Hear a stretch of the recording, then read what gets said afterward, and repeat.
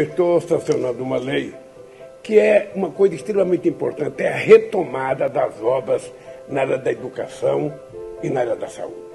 E essa lei ainda mexe na questão de um novo enquadramento na distribuição da verba da lei de Blanc. Porque pela primeira vez nós vamos ter uma aplicação constante na, na cultura. Né? A sanção dessa lei hoje vai nos permitir entregar as creches e escolas para todas as crianças e jovens desse país. São 5.489 mil obras na área da saúde que vai poder ser agora retomadas. São construções, ampliações e reformas que são, estavam paradas. Presidente, a soma que o senhor está fazendo aí dá mais de 11 mil obras ao todo. Então imagine quantos milhares de trabalhadores serão contratadas para todas essas obras pelo país. A coisa mais extraordinária é a gente poder dizer para vocês que o Brasil está caminhando rapidamente para ir ao encontro ao seu futuro promissor.